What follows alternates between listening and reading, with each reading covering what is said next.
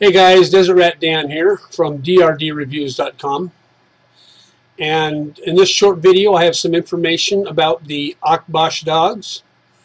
If you are interested and you have found this video, uh, I want to tell you a little bit about these dogs and the site that you're looking at offers free seminars and a free training course for Akbash puppies.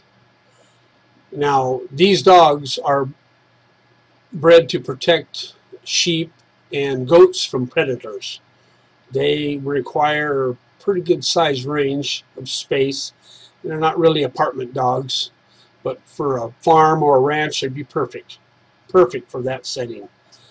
So if you are the owner of an Akbash and you uh, need to some help with training, I suggest that you go to the site here, click the link below the video. It'll take you directly here to this site. And when you're here, you can scroll below the fold and you'll find a form where you can put your name, your dog's name, and your email address and click subscribe and you'll immediately begin to get a training course.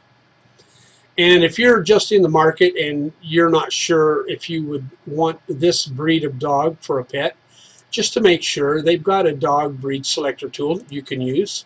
And when you go there, you're going to click through 12 questions, the first of which being the size of the dog you'd want where you choose medium, large, small, or toy, and click through the 12 questions. And when you get done, they will offer up a suggestion of the correct breed for your family. What would be a good mix for you and your family, depending on how you answer the questions. So click the link below the video. It'll take you directly to this page. And they have a page on this site for every breed that there is, pretty much. And once here, you'll be able to uh, navigate and find whatever breed you're looking for and the information you want. Thanks for your time.